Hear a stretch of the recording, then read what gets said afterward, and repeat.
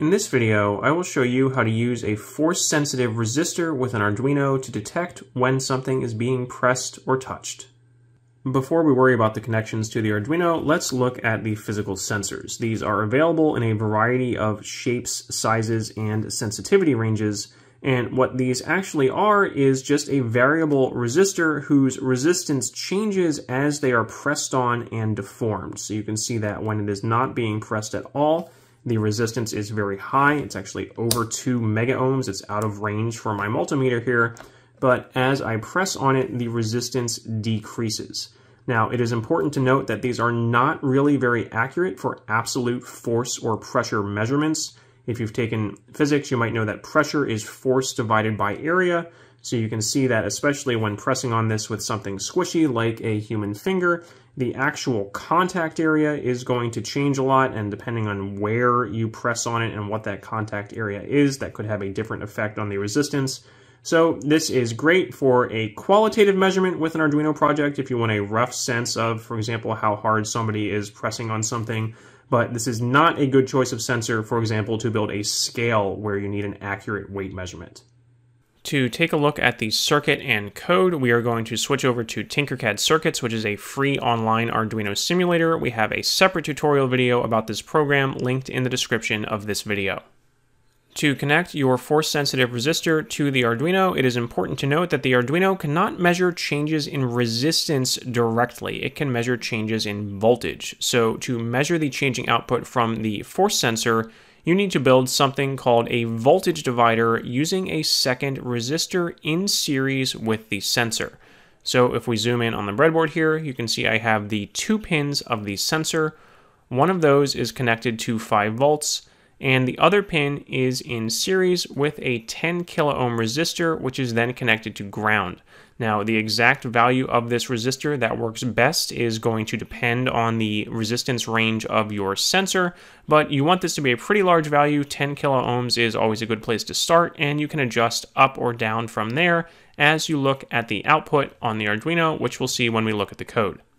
The middle pin of the voltage divider, that's the pin connected to both of the resistors in the middle here, is connected to one of the Arduino's analog input pins. And again, the voltage on that pin is going to change as we press on the force sensor. So I can demonstrate that here in Tinkercad, which has this slider to simulate pressing on the sensor.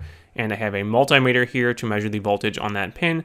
So you can see when the sensor is not being pressed on at all, we have a reading of zero volts. But as I increase the force on the sensor, that voltage starts to increase and my LEDs start to light up. When I lower the force, that voltage goes back down and the LEDs turn off. We will now take a look at the code and I will put a link to this Tinkercad circuit in the video description so you can copy and paste the code if you want, but for now I'm going to walk through it and talk about it line by line.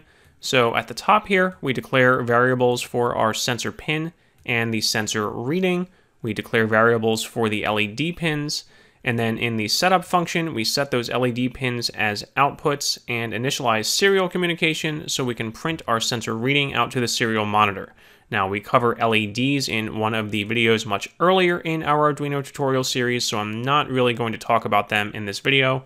Again, you can find the link to the entire series in the description if you need to go back and check that out.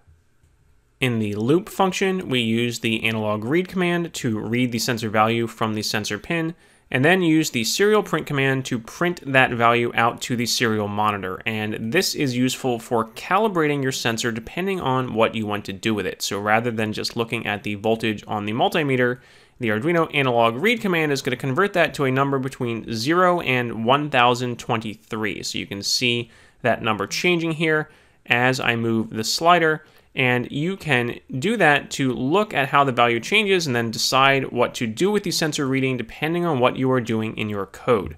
I am controlling LEDs here, but for example, you might be controlling something else like a motor or maybe printing out values to an LCD screen, all of which are things we have separate videos for in our Arduino tutorial series. In my case, I have a bunch of if statements comparing the sensor reading to different threshold values to decide which LEDs to turn on. So if the sensor reading is over 900, then I turn on all five LEDs, but else if it is over 800, I'm going to turn on four of the LEDs and so on, all the way down to else if the sensor reading is less than 500, then none of the LEDs are going to be on. So you can see that here. For example, if I turn this down, my sensor reading is only 181. None of the LEDs are on. As I pass each one of those successive thresholds, that condition in the if statement is activated and one more LED will turn on all the way up until all five of them are on. But again, that is just a demonstration using the LEDs. Once you have read the sensor value in using the analog read command, you can do whatever you want with that value in your code.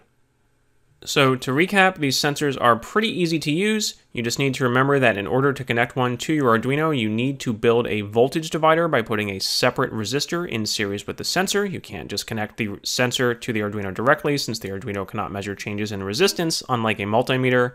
And then in your code, you want to use analog read to read the sensor pin value and serial print to print the value out so you can calibrate it for your application. You can also try changing the value of this resistor because that is going to affect the output voltage here, which will then in turn affect the range of readings you get when you press on the sensor. We hope you found this video useful. For many other Arduino tutorials and cool science projects you can do with an Arduino, check out the rest of our YouTube channel and our website, www.sciencebuddies.org.